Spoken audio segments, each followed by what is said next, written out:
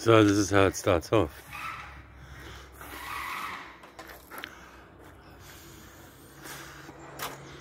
Gonna be taking the whole lot out. This is, uh, we've discovered uh, moisture. Actually the whole part of the rear of the boat there is, is just saturated and rotten. So it's a very un, unhappy find. Kai seems to be optimistic though and says it's an opportunity to learn to build something new. So, you know, great positive attitude. And um, this is what's happening. Cutting off. So this is just, you know, cut on either side at the moment and um, oh, we're doing a doco. slow and steady progress. yeah, okay.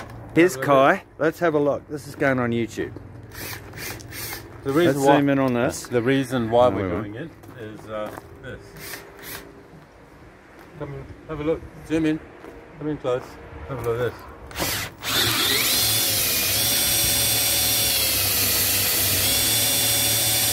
Hey, yay.